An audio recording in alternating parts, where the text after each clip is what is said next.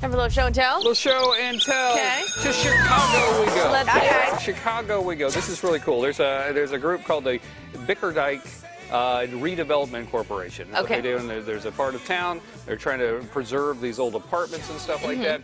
Uh, some lower income uh, housing and stuff like that, trying to beautify the neighborhood. Okay. Okay, it's very cool. They've been doing this for a while, and uh, their mission is to redevelop parts of Humboldt Park, uh, Logan Square, uh, Avondale communities, and everything like that. This is why I wanted to bring this up because look at what they did. The house where Frank Baum wrote Wizard of Oz, Okay. Yes. They have placed yellow bricks. Oh, up to how it. cute is that? that is so great. Isn't that amazing? Oh my gosh.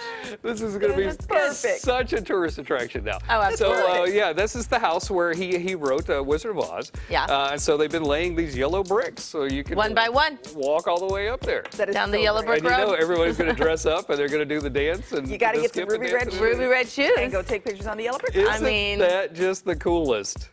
How cute is that? Yeah, it's uh, it's let's see, it's they're gonna have a five foot tall, 11 foot long Oz themed mural there, uh, by a Chicago artist.